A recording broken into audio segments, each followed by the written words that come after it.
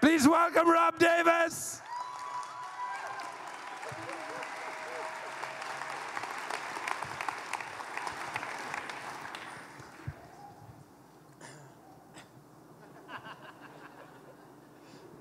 Good evening.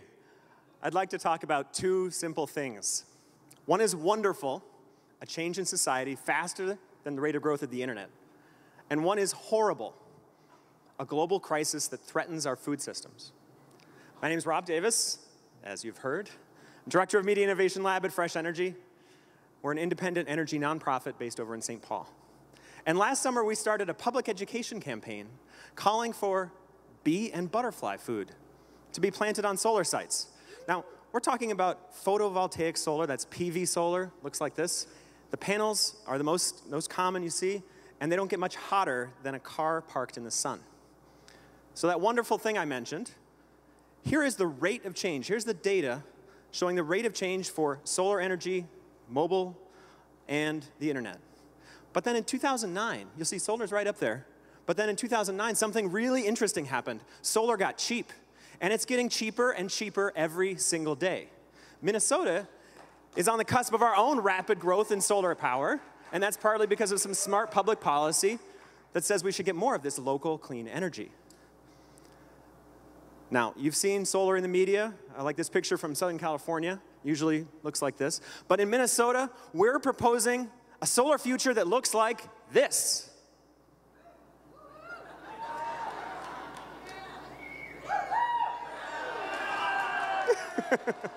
okay, um, solar actually does perform better in colder temperatures. And you don't have to be Laura Ingalls to know that prairie plants do pretty well in Minnesota despite these conditions. So, uh, who eats fruits or vegetables? Or the animals that eat fruits or vegetables? All right, well, my friends who like to eat, pollination is important. It's, it's in fact necessary for one third of all the food that we eat, even the bizarre foods. And uh, unfortunately, the situation for pollinators is quite dire. Since the 1950s, we've lost more than 50% of our honeybee population.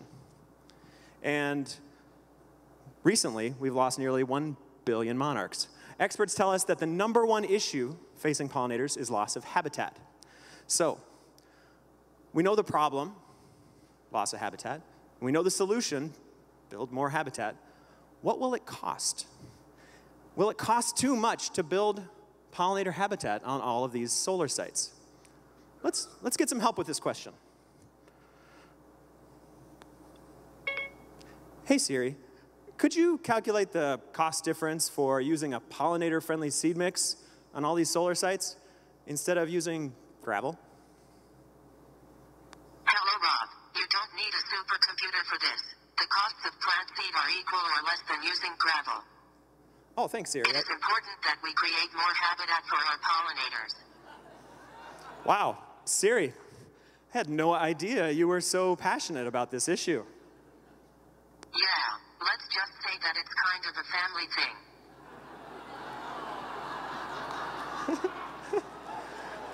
All right. Seriously, this is actually quite simple. This is quite, quite simple. All of these sites will have a vegetation management plan. And we're simply calling that instead of the industry norm of using uh, a gravel or a turf grass, that they use a biodiverse mix of prairie plants that are shade tolerant and low growing. We know that it's possible because it's already common throughout the United Kingdom and throughout Germany. So, this is a solution that doesn't just help pollinators, it helps build topsoil. And those prairie plants take the water right off of the solar panels and channel it right down into the aquifer. You know, what can you do as an individual, I guess? What can you do as a company, as an organization? Can you build a pollinator garden? Yes. Oh, you can also call for solar sites to be planted with biodiverse habitat, like Andersen and Audubon already have. This solution is, a, is one that scales. In fact, in 2016, Minnesota will build solar sites on land equivalent to every single family home in the state getting a pollinator garden. And these land lease contracts are for 25 years.